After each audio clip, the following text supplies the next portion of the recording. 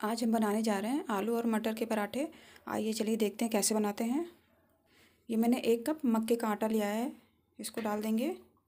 और एक कप मैंने चावल का आटा लिया है, इसको भी डाल देंगे। एक कप मैंने गेहूँ का आटा लिया है, इसको भी डाल देंगे।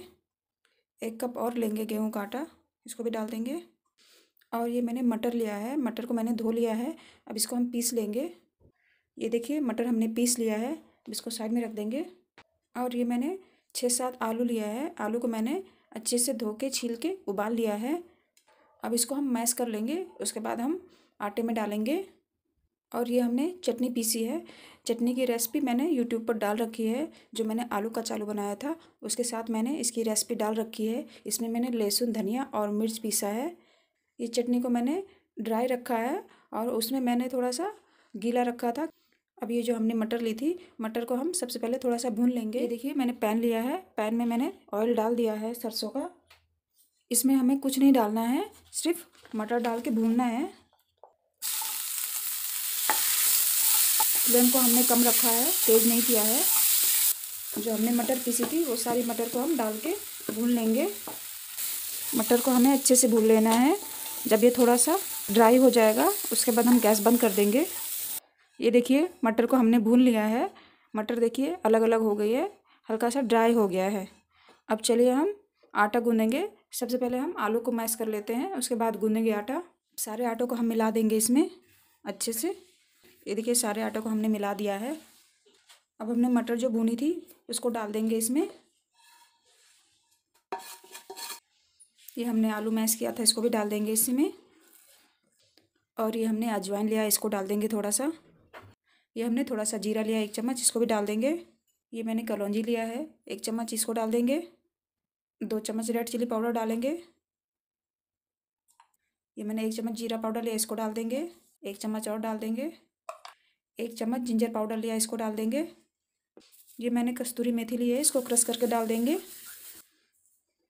एक चम्मच चिली फ्लेक्स लिया है, इसको भी डाल देंगे इसमें। और ये मैंने धनिया लिया है। धनिया को हम ऐसे तोड़ के डालेंगे। हम काट के नहीं डालेंगे, ऐसे तोड़ तोड़ के हम डाल देंगे इसमें धनिया। और ये जो मैंने पेस्ट बनाया था, अब इसको डाल देंगे इसमें। आप अपनी क्वांटिटी के हिसाब से आटा ले सकते हैं और मटर, आलू भी आप अपनी क्वांटिटी के हिसाब से ले सकते हैं, आपको जितना बनाना हो। टेस्ट अनुसार नमक डाल देंगे इसमें हम, एक चम्मच, दो चम्मच और आधा और डाल देंगे। अब सभी को हम अच्छे से मिला देंगे आटे में। पहले हम सभी चीज़ों को आटे में हम अच्छे से मिला देंगे। इसमें हम थोड़ा सा तेल भी डाल देंगे। ज़्यादा नहीं, एक बड़े चम्मच के बराबर। अब इसको दोबारा से हम मिला देंगे अच्छे से। अब हम आटा गूँधेंगे ये हमने गुनगुना पानी लिया है थोड़ा सा इससे हम आटा गूँध लेंगे। थोड़ा थोड़ा पानी डाल के हम आटा गूँध लेंगे। आज हम बनाएँगे मटर आलू से पराठा। इसमें मैंने तीन तरह का आटा लिया है। खाने में बहुत टेस्टी लगता है। हम इसमें सब्जियों में और भी चीज़ें ऐड कर सकते हैं, जैसे गाजर हुआ, कद्दूकस करके डाल सकते हैं, हम प्याज भी डाल सकते हैं। ये देखिए, मैंने आटा गूंद लिया है। आटा गूंदने में हमें सिर्फ़ आधा गिलास पानी लगा है, इससे ज़्यादा नहीं लगा है, क्योंकि इसमें हमने मटर आलू डाल रखा था तो उसी से ही थोड़ा सा सॉफ्ट हो गया था तो इसमें ज़्यादा पानी नहीं लगा हमें गूंदने में। अब चलिए, हम पराठे बनाएँगे। आप चाहे चौकोर बना लीजिए या गोल बना लीजिए।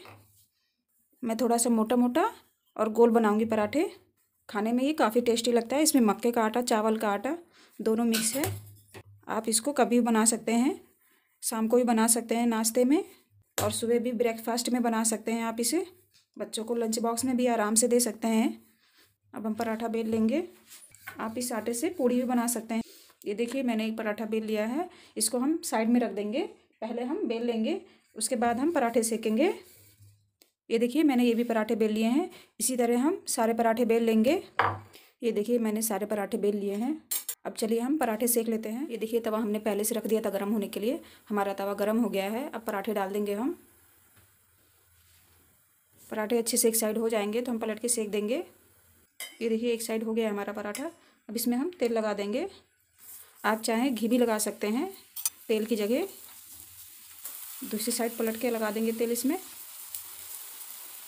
इसको पलट देंगे हम धीरे से। स्पून की सहायता से हम दबा दबा के सेक लेंगे पराठे को। हेलो दोस्तों, आप सबको आज की हमारी रेसिपी कैसी लगी?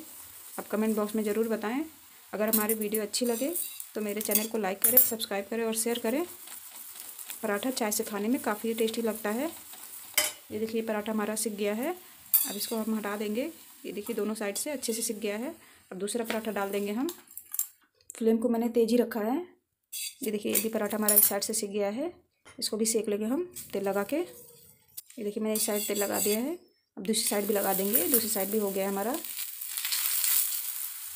ये देखिए, ये भी पराठा हमारा सिक्के तैयार हो गया है। अब इसको भी हम हटा लेंगे दूसरा डाल देंगे। इसी तरह हम सारे पराठे को सेक लेंगे। ये भी पराठा सीख गया है तीसरा।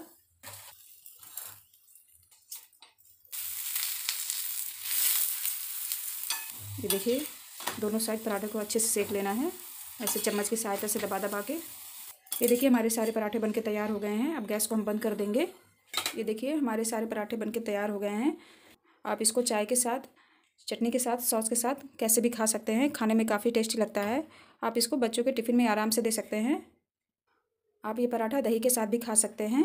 ये काफ़ी सॉफ्ट भी है। ये देखिए, टाइट बिल्कुल नहीं है। आप सबको आज की हमारी वीडियो अच्छी लगे तो मेरे चैनल को लाइक करें, सब्सक्राइब करें और शेयर करें। अगर रेसिपी पसंद आए तो कमेंट बॉक्स में ज़रूर बताएँ कैसी बनी है। ऐसे ही वीडियो देखने के लिए बेल आइकन को ज़रूर प्रेस करें ताकि आप सबको नोटिफिकेशन मिलती रहे। मिलते हैं नेक्स्ट वीडियो में। Thank you.